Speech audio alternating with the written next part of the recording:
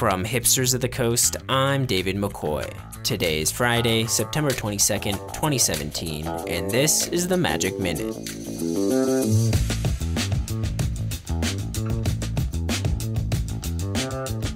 Yesterday, John Avon launched a Kickstarter to fund the creation of playmats featuring his art from the Full Art Unhinged Lands.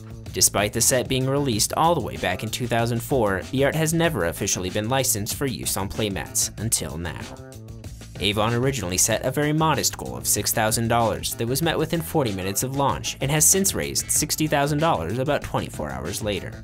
You can secure your own playmat featuring any single piece of art from the Unhinged Lands for a $32 pledge, or order all five for $140. You can find the project on Kickstarter by searching for John Avon, or use the link in the show notes. Unfortunately, you'll have to wait until December to get your hands on your official John Avon playmat, so you won't be able to take it to your Ixalan pre-release this weekend. But after what feels like months of talking about pirates, merfolk, vampires, and dinosaurs oh my, you'll finally be able to play with the set at your local game store this weekend, or on Magic Online next week. That's it for this edition of the Magic Minute, brought to you by the generous donations from our supporters on Patreon. Go to patreon.com slash hipsters of the coast for more details. Thanks for listening, and we'll see you Monday.